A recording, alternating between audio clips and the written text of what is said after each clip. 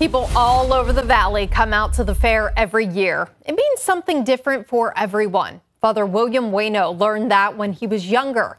He says he's a city boy turned fair advocate. The fair was something he looked forward to every year, but it wasn't until he served on the fair board and competed in 4 H that he understood the significance of agriculture.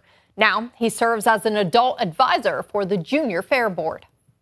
I come back today to be able to give back because I really feel that, you know, the Gospels tell us that to those who have been given much, much is expected in return. And Junior Fair has taught me a lot. Father Wainio also presided over the Sunday Fair Mass in front of hundreds of people. Hi everyone, I'm Lindsay Watson. Thanks for watching the WKBN 27 First News YouTube channel. If you want more video news, subscribe to our channel and don't forget to download the WKBN 27 First News app for breaking news alerts.